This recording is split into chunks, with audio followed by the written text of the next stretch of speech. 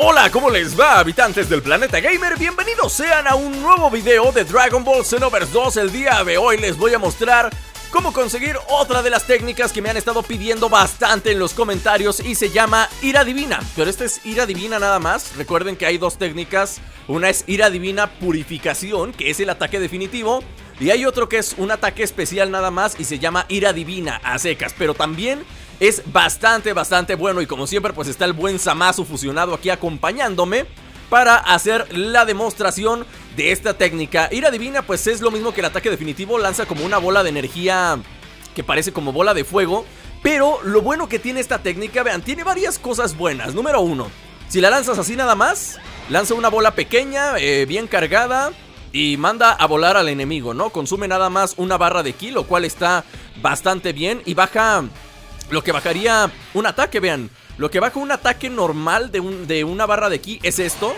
Y vean lo que, lo que baja una bolita sola de, ira divina. O sea, básicamente bajan exactamente lo mismo. Pero ira, ira, divina se puede cargar durante más tiempo. Chequenla. Nivel 2. Ira divina, nivel 2. Ahí carga, parpadea segunda vez. Se hace más grande y baja un bonche todavía mayor. Y si la cargamos a nivel 3, vean, nivel 2 y nivel 3. Ahí está, cargada a nivel 3, la lanzamos y lanza una bola gigante. Que eso definitivamente sí baja una buena cantidad de vida. Esa es una de sus ventajas, que la puedes cargar hasta 3 veces.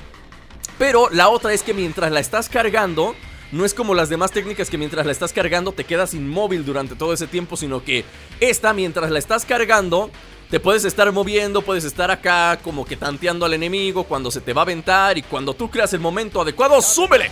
Allá va la bola gigante y le bajas un montón de energía. Ira divina es una de las técnicas más bonitas del DLC 4, así que ¿cómo es que se consigue esta técnica? Para conseguir la ira divina, bueno, ya saben, necesitan tener el DLC 4 instalado en su consola y sí, tiene que ser el de paga porque me preguntan mucho, oye Epsilon, ¿tiene que ser el de paga? Sí.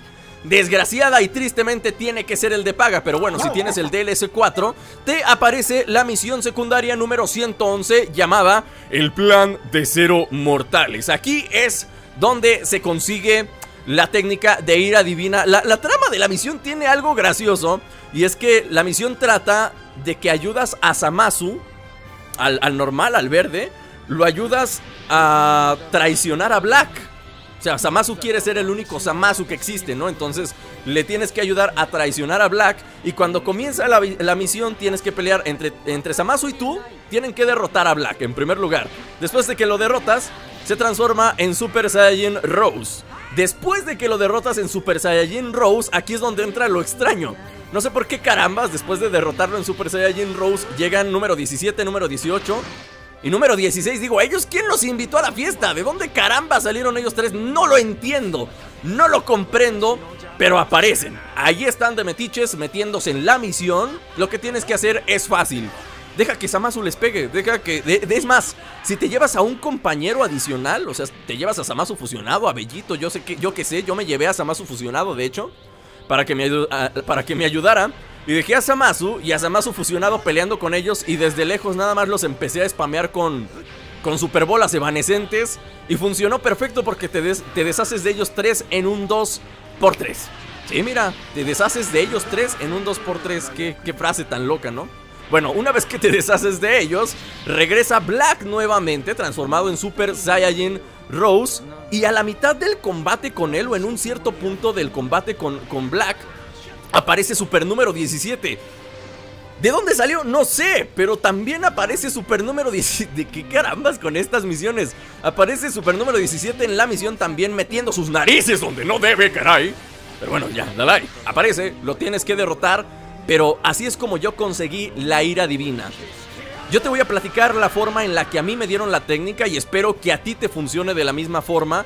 En el momento en el que aparece super número 17, yo lo ignoré durante un rato, o sea, sí le metí dos, tres golpes, pero prácticamente durante todo el combate lo ignoré y me fui a derrotar a Black.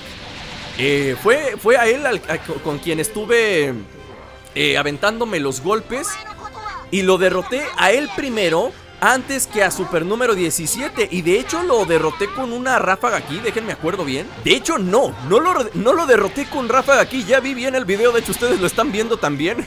Ya lo vi, no lo derroté con ráfaga aquí, simplemente le metí un combo, pero bueno, siempre les he dicho, y se los vuelvo a decir, eh, derrotar a un enemigo con un ataque definitivo o con una ráfaga aquí, normalmente por experiencia les digo que te aumenta las probabilidades de que te dropen una técnica. Claro, en este momento pues tuve suerte yo de que simplemente lo derroté con un, con un combo.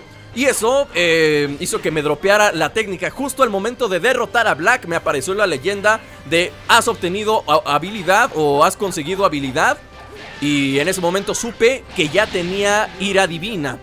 Ya después de derrotar a Black, lo único que tienes que hacer es derrotar a Super número 17. Ojo, esta segunda aparición de Black junto con número 17 es el evento oculto de la misión. O sea, si quieres conseguir ira divina, tienes que desbloquear el evento oculto de la misión. Para eso, necesitas terminar con la misión principal en menos de 5 minutos. Por eso yo te recomiendo que cuando aparezcan los androides 16, 17 y 18, tú simplemente te pongas lejos y los spamees con ataques definitivos. Si tienes, eh, no sé, la supernova o la superbola evanescente, dales con puro de eso y te vas a deshacer de ellos rápido y cuando los hayas derrotado, si lo lograste en menos de 5 minutos, vas a liberar este evento oculto donde va a aparecer Goku Oscuro Rosa, Black Goku Rose y va a aparecer Super número 17. Y la manera en que a mí me dieron la técnica pues es derrotando a Black primero y a Super número 17 después. Ya cuando te aparezca la leyenda de, de has conseguido habilidad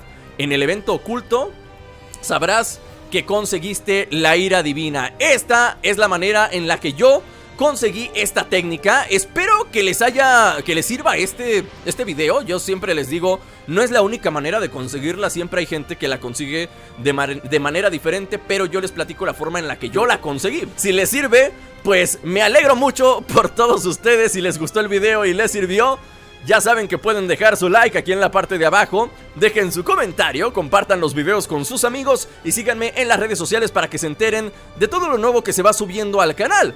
Yo me despido por el día de hoy y nos vemos la próxima. ¡Chao! Ira Divina es un buen ataque y más porque se puede cargar para las misiones expertas. Para lo que son las misiones expertas te podría servir bastante por el hecho de que solamente gastas una barra de ki y la puedes cargar para que baje vida como si consumieras dos barras de ki. O sea, está, está muy bien. Está muy bien. Perfecto. Perfectas las técnicas de Samasu. Me gustan mucho las técnicas de Samasu. Son buenas. Mono, voltea la cámara. Mira cómo voltea. Para un lado y para otro. Ya saben que aquí abajo en la, en la descripción están las redes sociales oficiales. Y en la ahorita, precisamente en estos momentos, en la pantalla les están apareciendo algunas sugerencias de videos que tal vez te podrían interesar. Ya sabes que si no te has suscrito al canal, puedes suscribirte para que veas todos los gameplays y no te pierdas absolutamente ninguno de ellos. Mono, voltea la cámara, miren, le pongo la cámara acá y voltea por un lado, se la pongo acá y voltea para el otro.